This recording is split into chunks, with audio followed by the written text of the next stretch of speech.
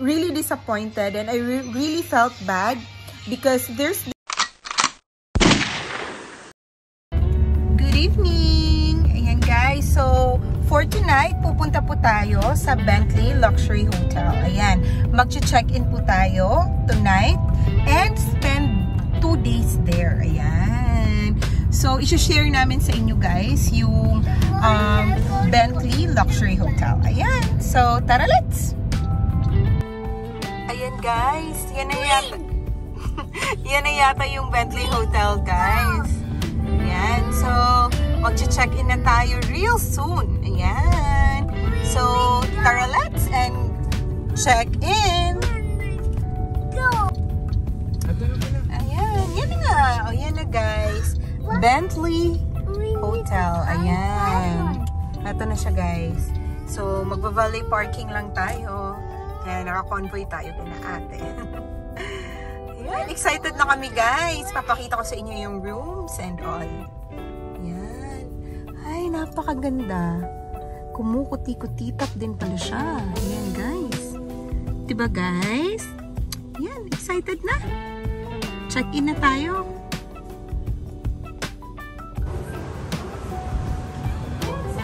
Go now, go now. Go now, Alaric. Let them go. Let them complain.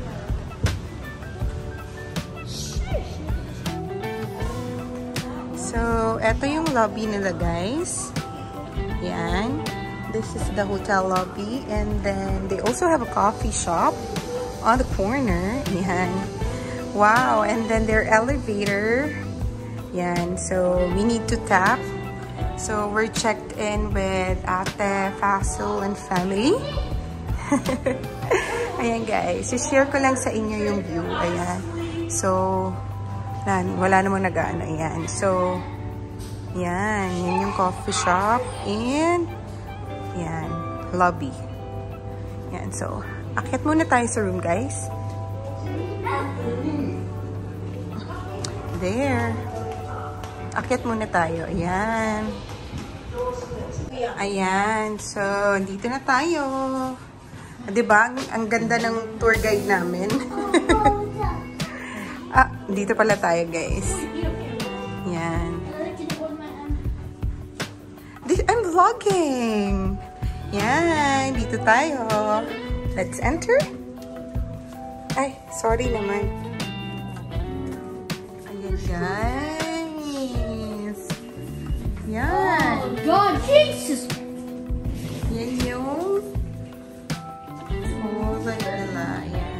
Toilet sila dito sa labas. And then, hmm, ito yung kitchen. Yan. And then, yan. Ito yung hall. Yan. Living room. Ayan, guys. And, ang ganda. In fairness naman din siya, guys. Yan. So, maganda naman siya. Malaki din. Yan. Yan yung room. And then, my connecting bathroom siya, guys. So, bathroom siya. Yan. And then, hi guys. And then, naka-separate yung toilet and yan, bathtub. Ayan. So, maganda siya, guys. Yan. So, you guys, may idea na kayo. If you would be staying, this is a deluxe room. And one of our room is a two-bedroom suite. Ayan. So, yan. Yan siya, guys. Ayan, guys. So, yan. Free water. May induction cooker din sila dito. So, you can cook pala, guys. And, my kettle, my Dolce Gusto, my favorite. So, yan siya, guys. So, you can have coffee and tea. And, ayan guys. So, buksan natin yung mga cabinets. Oops, empty. Ayan. Ayan. So, andito yung um, mga plates and soup. Ay, sorry. Ayan, walang laman. And then, yan, plates and bowl. Nandito din. Yan. Ba to? Yan, yung fridge. Yan, empty lang yung fridge nila, guys. So, you can also stock up and, you know,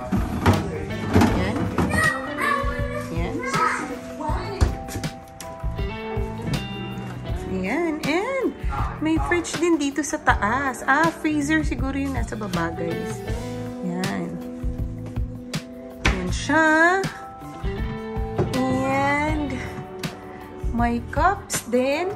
Ah, so basically, yung dadalhin nyo na lang is yung ano, niluluto. Ayan, ito, ito yung food. Para habang nagluluto kayo. And, yan, cup. Okay.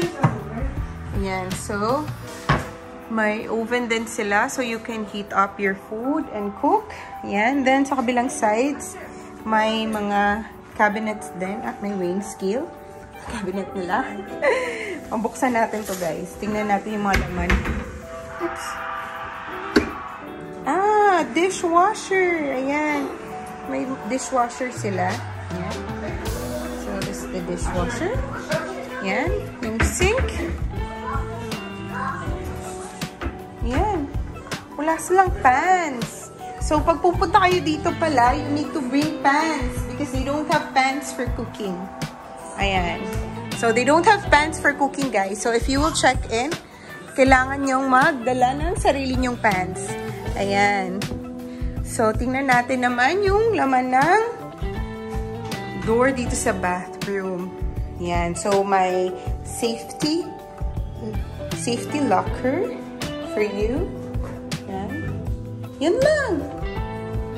Yan ba? So, saan yung towels? Yan. Tingnan nga natin. Yan. So, yung shower nila is rain shower.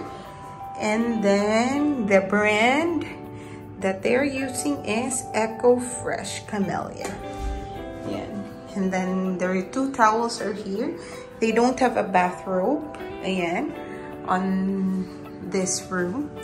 So, yan siya guys. So, I hope um, nabigyan ko kayo ng sneak peek. Ayan, may TV naman siya on what's inside Bentley Hotel in Qatar, located at West Bay. Ayan.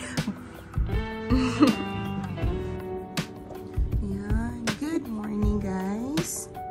Magbe-breakfast na kami.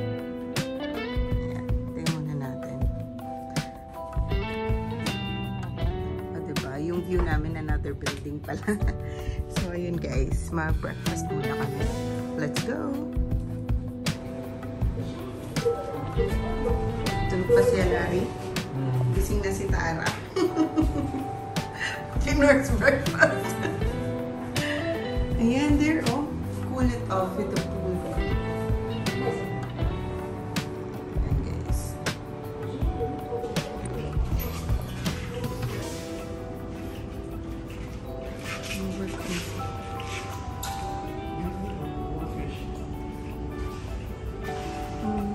Ganda ng ano nila dito, guys. Nothing is there?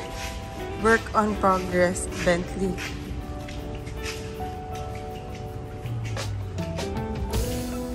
Nagkinahanap namin guys kung saan yung restaurant for breakfast. Ballroom. Wala.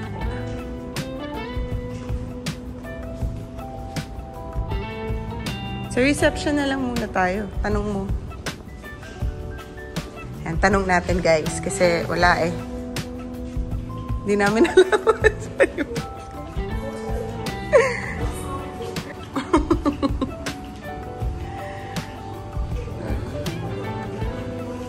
yeah, I don't think also. I don't think there's breakfast buffet or something. It's, nothing is there.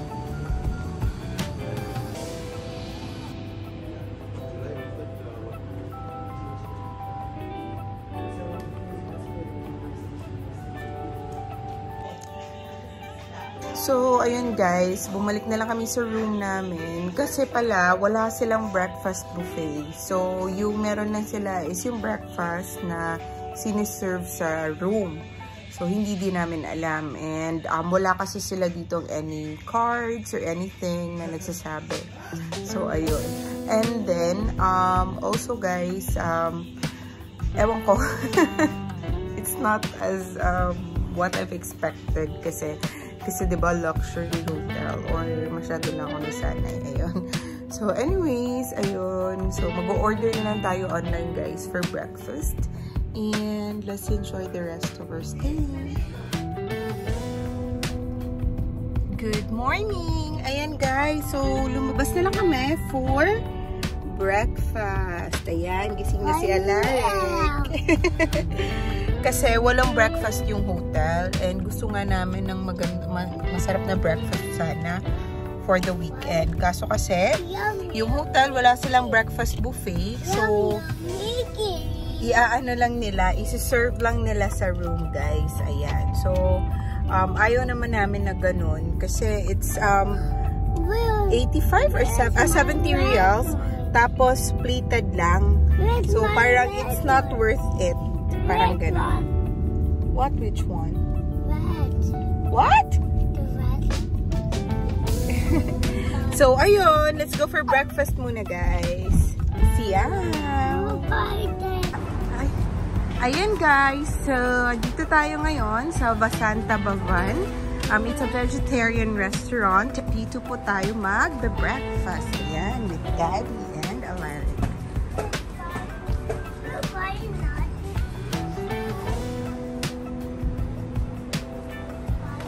Ayan guys, so pupunta tayo sa swimming pool. Ayan, magpo-pool tayo para may maano natin yung mga bata. Ayan, dami nating batang dala. tayo ngayon yung attendant ng mga batang to.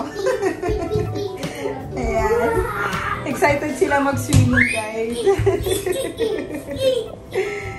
Ayan, so... Tara, let's! Guys, so andito kami sa kiddie pool nila. So, ayan, happy ako kasi si Alari, pwede pala siyang ganyan. Ayan. So, I'm so happy kasi um, kaya lang ni Alari. So, hindi, you know, hindi siya dangerous for the kids. And then, yan yung adult pool nila, which is medyo deep din. So, dito tayo sa kiddie pool guys because we're here for the kids. Ayan. Enjoy muna kami dito.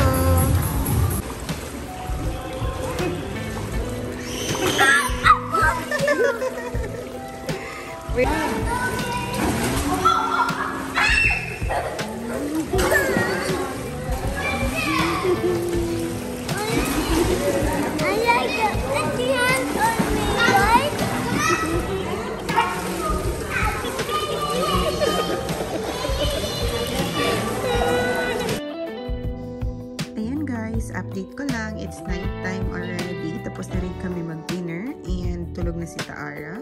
Si Alaric, he is playing with his um, iPad. Matutulog na rin yan mamaya. And of course, kami ni Daddy. Ayan. We gotta celebrate also, right? So, we have a red wine. Ayan guys. relax, relax muna because it's a weekend. Ayan. Hi guys! So, may ikukwento lang ako. So, we are checking out at Bentley Hotel. And then, uh, may nakaka, ano, nakakainis na nakakatawang nangyari. Ayun. So, so si Daddy, um, tumawag sa reception. Sabi niya, ano, uh, mag-check out na kami. Paano naman, pa, padala naman ng trolley, gano'n. Tapos, sinabihan nila kami na ano, na hindi daw namin need ng cart or ng trolley para bumaba. Tapos, tinanong kami, tapos tinanong nila si daddy, bakit po, may luggage po, ah, bakit, ah, may luggage po ba kayo? Tapos sabi ng asawa ko, syempre may luggage ka- kami, alangan naman na nag-request kami ng trolley para sakyan namin pababa.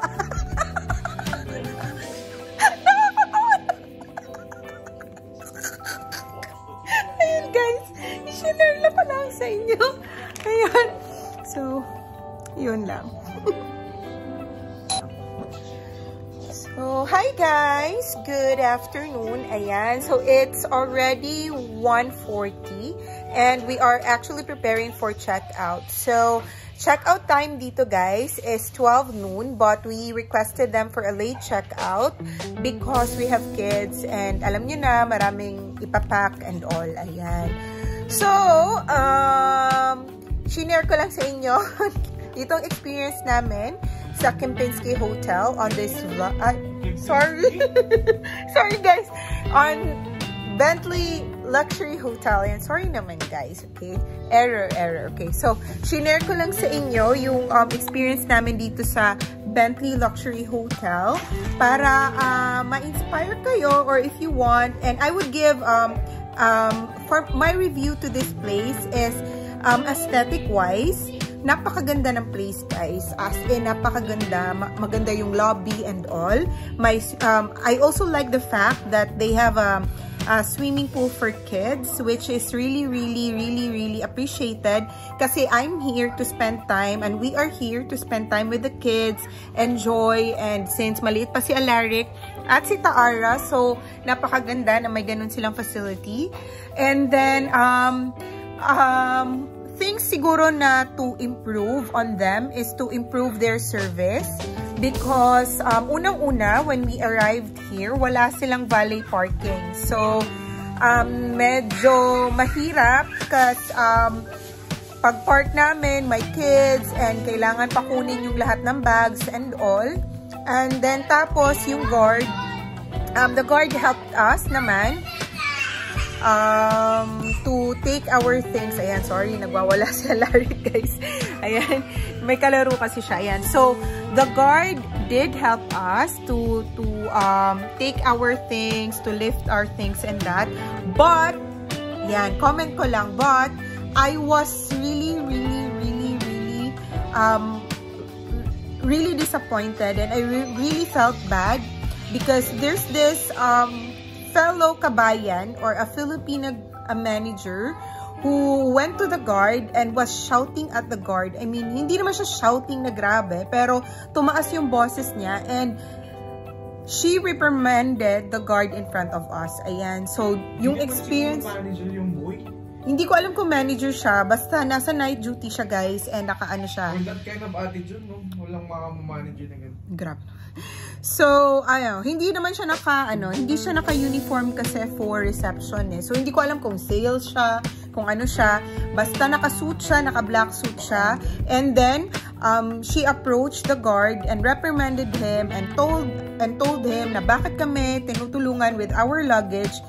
Guys, in front of us, to think na we were, with, we are here with kids. So, parang, yun lang yung bad experience ko sa pagstay dito right away upon checking in yun. And then of course the guard um he's African. So he told um her na ano na um I'm just helping them because they're with kids like that. Then sabi niya no you must call bellboy. Ganun siya guys. Ang taray ni ate. Tapos sabi ni ng guard na parang ma'am, how, how many times will I call them? Um, they're not coming. Then let them complain in the front office. Ganon. Okay lang sa kanya na mag-complain kami sa reception as long as hindi kami tulungan ng guard. I really don't understand that concept. So, if you guys knows her or if you guys may kilala kayo na nagtatrabaho sa um, Bentley Hotel and we checked in, in um, October 13th night. So, kung siya yon, ate, please wag kang ganun. If you need to reprimand your staff or if you need to tell your staff something, please call them on the side and talk to them alone ate. It's not, it's not the right um, attitude na ganun po. Ayan, nag, nag-sermon pa ako, no? so, ayun, kasi ang pangit. Ang pangit lang nun. Tapos, in front of us pa. Tapos, grabe naman yung mga comments nito. So, ayun. So, alam mo yon So, ano siya guys, um, yun lang naman sa lahat ng experiences namin. I mean, dun ako na parang unang-una pa lang, wala na. parang, ano yun, na ano na ako, na parang na nawala na ng gana, ganun. Pero syempre, since we're here with family and we're, we are here to distress, so we really need to, you know, focus on positive things. Ayan. But still, I'm sharing it with you guys. Ayan. Um, and then, one more thing, they don't have a buffet breakfast. Ayan, here. So, if you want to have breakfast, you just call the reception and then they will ask somebody to call you for breakfast and explain to you, you know, about their breakfast. so, kaya sa video, makikita nyo na naghanap kami, wala. Ayun, guys. so, yun lang. So, I hope I hope soon magkakaroon sila ng buffet breakfast. Ayan. So, um, one more thing guys. So, um, I just want to share. Alam kong masyado na akong madaldal. But before I end this video, I just want to tell everyone, especially my fellow OFWs, that it is okay to um, once in a while spend uh, money for yourself and for your family. I know we are here to help our families in the Philippines, but sometimes you just need to enjoy and de-stress. Alam ko, mahirap po na andito tayo sa ibang country, but we always need to love ourselves first. Kasi, we cannot give more if ubos na tayo. Ayan. So, huwag niyong hayaan na ma-stress kayo ng ma-stress, hanggang sa hindi nyo na kaya. So, find an outlet, find things that can make you happy. Ayan. Gaya namin. Ayan. Super stress kasi si daddy this week sa sa orders and sa work kasi um, thankful kami guys kasi ang dami yung order. But, you know, comes with that kasi is stress, di ba? Na to make sure that everything runs smoothly. Ayan. So, dahil super stress si daddy, so we decided to check in here. Ayan. And enjoy um, a few days with the family. Ayan. So, once again, guys, thank you, thank you so much for subscribing and for watching this video. I do hope you enjoyed and I do hope that um, you continue to watch my videos in the future. Thank you so much once again. Don't forget to like and subscribe. And we, you can always talk to me or message me anytime. Ayan. Bye, guys!